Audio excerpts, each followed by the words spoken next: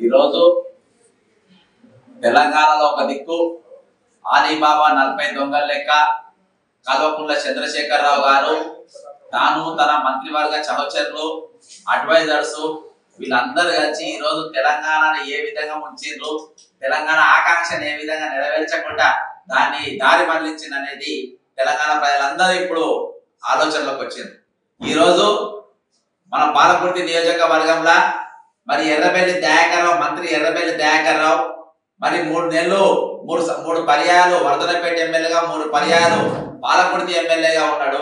మరి ఈయన- ఈయన పైన అసలు ఈయన చేసిన కార్యక్రమానికి పైన ఆయన పైన ఒక షార్ట్షీట్ ఈ రోజు మేము విడుదల చేస్తా ఉన్నాం. ముఖ్యంగా షార్ట్షీట్లో ఉన్న ఏంటంటే ముఖ్యమైన అంశాలు జనగామ జిల్లా పాలకుర్తి ఎన్నికల ప్రచారంలో తనకు ఓటేసిన వాళ్ళకే నౌకర్లు ఇస్తానని టిఆర్ఎస్ కార్యకర్తలు మాత్రమే నౌకరిస్తా అని చెప్పడం జరిగింది. నిజంగా ఒక మంత్రి అనేటోడు నువ్వు ఎవరు ఓటు చేసినా కానీ ఎన్నికల వరకే ఎన్నికలైన తర్వాత నాలుగు కోట్ల ప్రజలకు నువ్వు సేవ చేయాల్సిందే. అది నువ్వు ప్రమాణం చేసినావు మిస్టర్ ఎర్రబెల్లి దయాకర్ రావు. నువ్వు ప్రమాణం చేసినావు నువ్వు ఇది. కానీ ఆ ప్రమాణానికి ఈ రోజు నువ్వు దానికి పరిణామాలు లేకుండా ఎటువంటి ప్రమాణాలు లేకుండా చేసినావు ఈ రోజు. అంటే అటువంటి అటువంటి ఎమ్మెల్యే నువ్వు పనికిరాను అనివి అప్పుడు కూడా ఎవరి పట్టాలే చేసినా కూడా బీఆర్ఎస్ కార్యకర్త పిల్లలకు మాత్రమే చేస్తున్నాను. ఇది మంత్రికి తగదు. ఇంకోటి వరంగల్ అర్బన్ జిల్లా కమలాపూర్లా.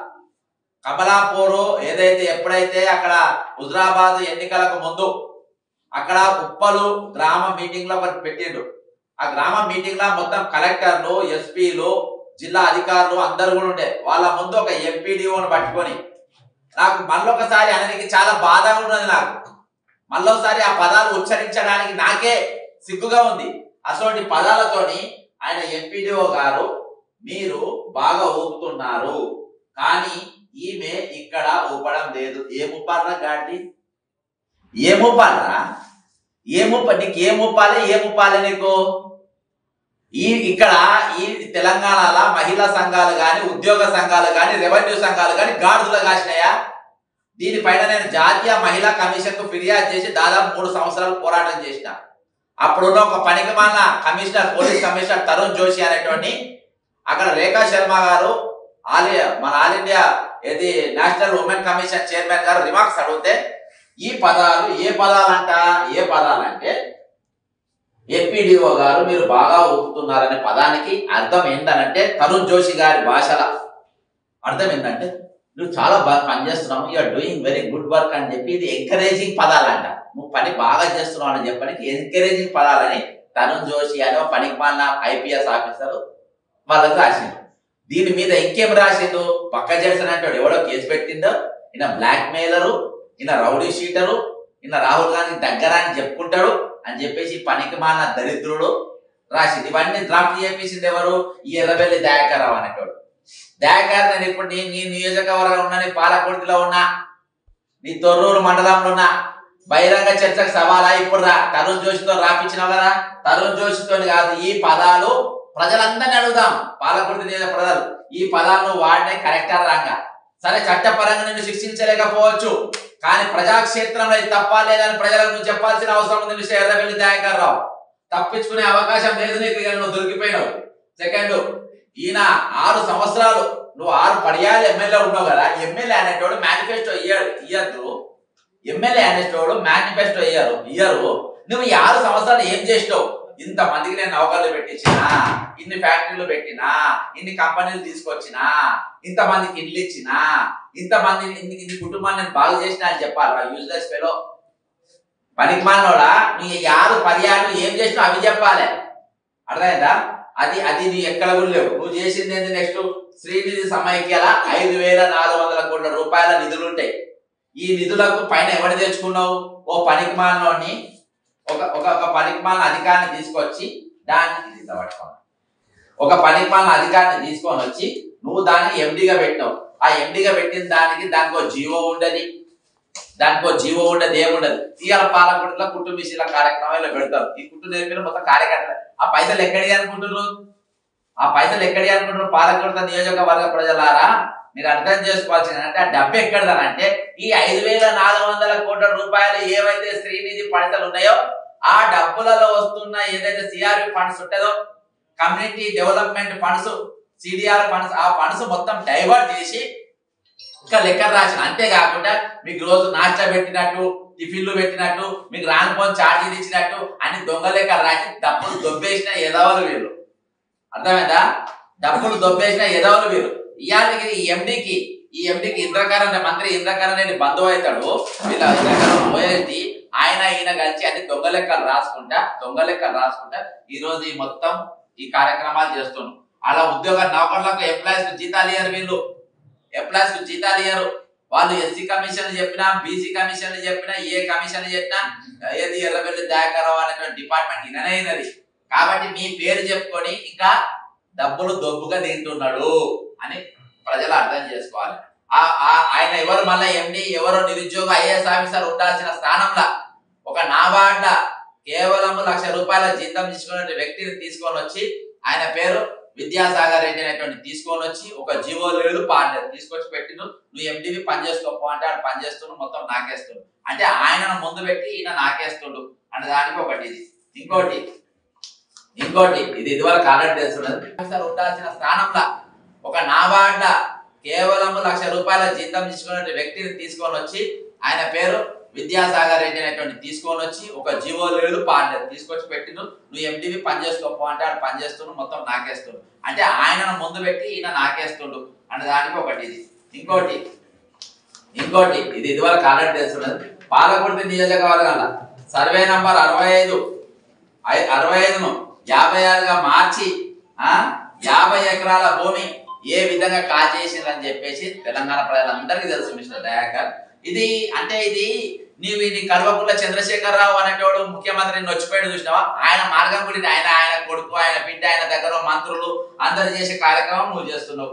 మళ్ళా అర్హులందరికీ థర్టీ పర్సెంట్ ప్రతి దానికి ఏది దళిత బందే కానీ బీసీ బందే కానీ ప్రతి బంద్కు నువ్వు థర్టీ పర్సెంట్ కమిషన్ తీసుకోకుండా మీరు ఎవ్వరు కూడా పనిచేయలేరు అందుకని పేరు ఇప్పుడు thirty per thirty percent Dayakar Rao అని చెప్పి పెట్టు పెడుతున్నాం మేము. అంతేకాకుండా నువ్వు మండలంలో వంద పడగల ఆసుపత్రి అని చెప్పినావు. అచ్చ ఇక్కడ ఎన్ని ఆసుపత్రి కట్టినావు? నువ్వు ఎన్ని డిగ్రీ కాలేజీలు తెచ్చినావు? ఇదే తొర్రూరులా?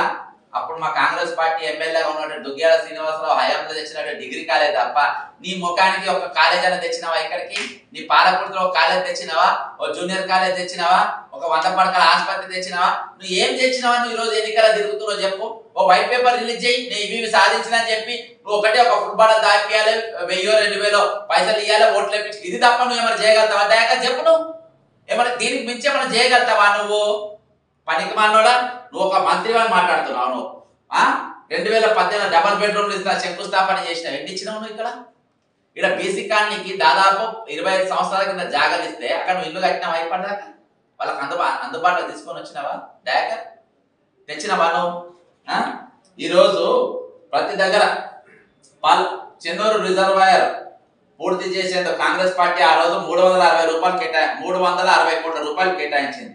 నువ్వు వచ్చినాక ఏడు వందల కోట్ల రూపాయలు దాన్ని తెచ్చినావు. దీంట్లో నువ్వు రెండు వందల యాభై కోట్లు కాంట్రాక్టర్లు నీ ఇంట్లోనే కదా. ఇక్కడే కదా కొనానికి చెరువు కట్టిర్రు పర్వతగిరి రిజర్వాయర్ కట్టిర్రు. నువ్వు ఎక్కడ ముంచలే నువ్వు? నీ బతుకు మొత్తం ముంచుడే. అన్ని దందాలు అన్ని మాఫియాలు. సర్వం మాఫియా నువ్వు. సర్వం మాఫియా దయాకర్. నువ్వు ఇంత మించి నువ్వు చేసింది ఏం లేదు. నేను ఒకటే చెప్తున్నా ఈ రోజు నీ సేవలు పాలకుట్టి ప్రజలకు అవసరం లేదు. ఈ రోజు నీవు నీవు కోవట్లతోని కోవట్లతోని పనికానిచ్చే ప్రయత్నం చేస్తున్నావు. కానీ ఈ రోజు కాంగ్రెస్ పార్టీ రాహుల్ గాంధీ గారి నాయకత్వంలో భారత్ జోడో యాత్ర అయిన నాలుగు వేల ఐదు వందల కిలోమీటర్ల పాదయాత్ర చేసిన తర్వాత కర్ణాటక ఎన్నికల గెలుపు అక్కడికి వెళ్ళి ఆ ఊపు ఈ రోజు తెలంగాణలో స్పష్టంగా కనబడతా ఉంది. ఈ రోజు నీ కాళేశ్వరం దంతే అలా ఒక సుక్క నీళ్ళు లేవు. కాళేశ్వరంలో లక్ష యాభై వేల కోట్ల రూపాయలు ఈ రోజు మా మీద మోపినావు. ప్రతి మనిషి మీద లక్ష యాభై వేల రూపాయలు పెట్టిండ్రు. మా నాలుగు కోట్ల ప్రజల ముందు కేసీఆర్ గారు పోయి ముఖ్యమంత్రి చెప్పుకో. మిస్టర్ దయాకర్ రావుని ముఖ్యమంత్రి చెప్పుకొని మా పాలకుర్తి ప్రజలు బాగా తెలివైన వాళ్ళు వారు లక్ష యాభై వేల రూపాయలు ప్రతి మనిషి మీద తీసుకున్నారు. వాళ్ళకి తెలిసిపోయింది. ముందు మా మీద ఉన్న లక్ష యాభై వేలు ఇచ్చిన తర్వాత ఓటుకి ఎంత ఇచ్చిన తర్వాత మేము ఓటేస్తామని అడుగుతున్నారు. అని పోయిన ముఖ్యమంత్రి చెప్పుకో. అర్థమైందా దయాకర్? ఆ విధంగా మాట్లాడు. నువ్వు బహిరంగ చర్చకు రా. ఈరోజు దేశ విదేశాల అనేకమైన వ్యాపారం అన్ని కాదని చెప్పి ఈ రోజు నా సొంత గడ్డకు సేవ చేస్తా అని వచ్చినటువంటి వ్యక్తితోని నువ్వు కూర్చొని ముఖాముఖి మాట్లాడు. నువ్వు ఏం చేస్తావు చెప్పు. వైట్ పేపర్ నేను ఆరేళ్ళు ఇది పీకినా ఆరేళ్ళు ఇన్ని ఘనకార్యాలు సాధించిన ఆరు ఆరు పర్యాయాలు నేను ఎమ్మెల్యేగా నేను చేసిన అభివృద్ధి మామూలుగా లేదు అని చెప్పి చెప్పు. ఎన్ని పెళ్ళిలు పెట్టి అన్ని పెళ్ళిలో పోతావు. నువ్వు ఎట్లా గెలిచినావు అని సీక్రెట్ నేను చెప్తా. ఎన్ని పెళ్ళిలో పెడితే ఆయన పెళ్ళిలో పోతావు అన్ని పెళ్ళిలో తింటావు. కానీ ఆయన పెళ్ళిలో పెళ్ళి పేరు కూడా తెలియదు ఆ ఊరు పక్కన ఉన్న అడుగుతావు అవసరం మన ఎవరి పెళ్ళికి వచ్చినారు? పక్కన మొగలే పెళ్ళికి వచ్చినావు? అని అంటే దూరంకి వెళ్ళావు. మొగలే బాగున్నావని అబ్బా దూరంగా పేరు పెట్టి పిలిచిందని ఓటేసింది. ఆ ఓట్లతో నువ్వు బతికినావు దయాకర్ ఆ రోజులు వేరు ఈ రోజులు వేరు. నిన్ను తరిమి తన్ని తరిమే రోజులు దగ్గర పడ్డాయి. నువ్వు దొంగవు నువ్వు దొరికిపోయినవు నువ్వు మోసగానివి నువ్వు ఏం డెవలప్మెంట్ చేయలేదు నువ్వు మా మీద బతికినావు నువ్వు మా పేరు మీద బతికినావు మా పేర్ల మీద నువ్వు ఆస్తులు కూడా పెట్టుకున్నావు నా పేర్ల మీద నువ్వు కుటుంబాన్ని బాగు చేసుకున్నావు నా పేర్ల మీద నువ్వు మంత్రి అయినావు కానీ నువ్వు మాకు పీకింది ఏమీ లేదు. కాబట్టి నువ్వు మాకు అవసరం లేదు. నువ్వు తిరగాల్సిన అవసరం లేదు. నిజంగా నేను తిరుగుతా అంటే నువ్వు ఏం చేసినావో శ్వేతాపత్రం విడుదలది నీ ఘన కార్యాలయాన్ని కాయిదాల మీద రాయి. మా ముందు మన పాలకుర్తి ప్రజల ముందు పెట్టు నువ్వు ఎన్నికలకు రా అని చెప్పి ఇక్కడ ఉన్న మిత్రులందరి కాంగ్రెస్ పార్టీ పట్టణ అధ్యక్షుడు కాంగ్రెస్ పార్టీ నాయకులు కార్యకర్తలు మండల అధ్యక్షుడు అందరి సమక్షంలో మేము మీకు ఛాలెంజ్ విసురుతున్నాం. అదే విధంగా మరి ఇక్కడ కాంగ్రెస్ పార్టీ అభ్యర్థిని కాంగ్రెస్ పార్టీ అభ్యర్థి యశ్వశ్విని రెడ్డి గారిని భారీ మెజార్టీతోని ప్రజలు నీ మీద అసహ్యంతో ఈమె ఈ క్యాండిడేట్ యొక్క ఖచ్చితంగా మాకు ఏదో చేస్తారనే నమ్మకంతో చేస్తారని కోరుకుంటూ సెలవు తీసుకుంటున్నా. జై తెలంగాణ అమరవీరులకు జోహార్లు కాంగ్రెస్ పార్టీ జిందాబాద్.